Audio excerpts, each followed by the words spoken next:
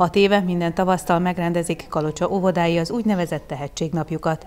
Az idei eseményre április másodikán került sor a kamarateremben. Mindig keresünk egy témát, ami amihez kapcsolódik minden óvodának a bemutatkozása. Most az idén a Kalocsa kincseit tűztük ki egy kiinduló pontnak, hiszen a rajzpályázat is ehhez kapcsolódik. Városunk értékeit azonban nem csak a papírlapokon fedezhettük fel, hanem a gyerekek produkcióiban is, hiszen a tehetségnapot hosszas felkészülés előzte meg az intézményekben.